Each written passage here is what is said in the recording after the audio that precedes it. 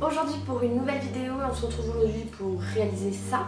Je sais pas trop comment l'appeler, je suis mi-poupée vaudou, mi-poupée maléfique, mi... Euh, pas squelette, hein, tout ça j'avais déjà réalisé tout ça dans mes vidéos. D'ailleurs je vous laisse les liens là-haut en fiche.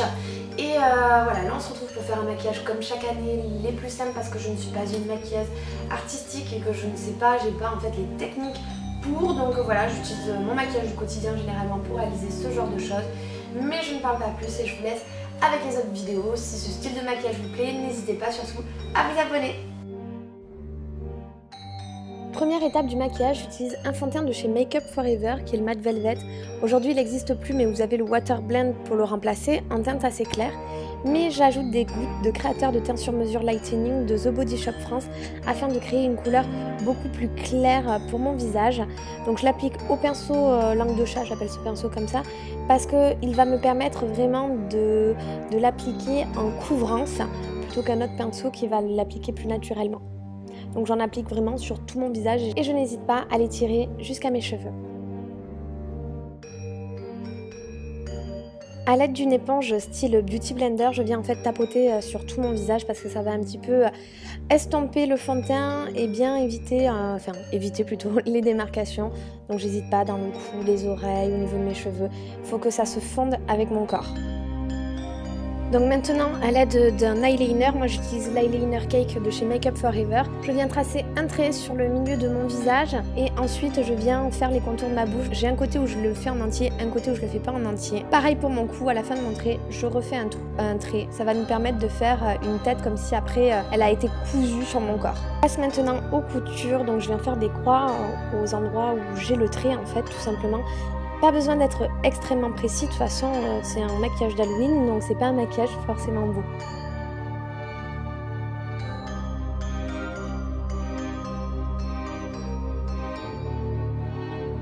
A l'aide d'un pinceau, j'applique mon fard à paupières noir, donc c'est un fard à paupières Makeup Forever, sur toute ma paupière mobile, mais aussi sous le dessous de l'œil.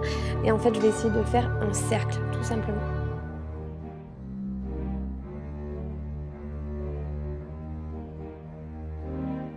Toujours avec le même eyeliner, je fais mon autre œil, donc je fais un joli trait un peu insisté d'eyeliner sur euh, mon œil.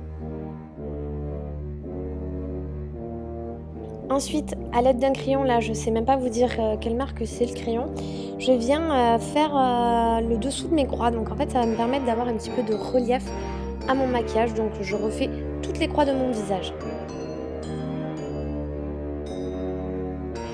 Alors, cette étape, je l'ai enlevée euh, moi sur mon maquillage, mais vous pouvez faire en fait des croix comme un bouton pour votre œil. Je m'étais inspirée sur euh, Pinterest.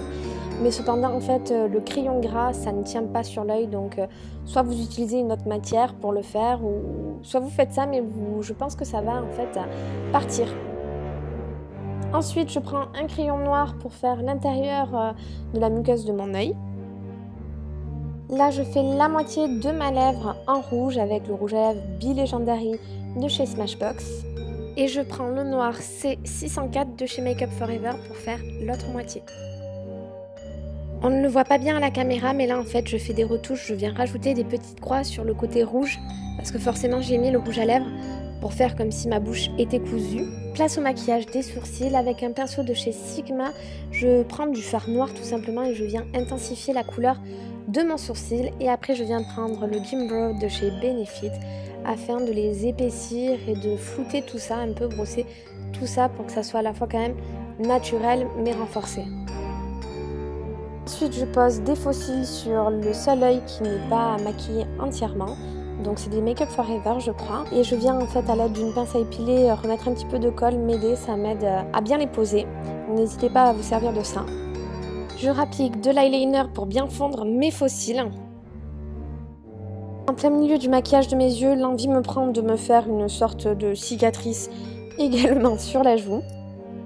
Et me revoilà à mes cils. Là, j'applique le mascara volume 2 chez Chanel afin de fondre mes faux cils et mes vrais cils.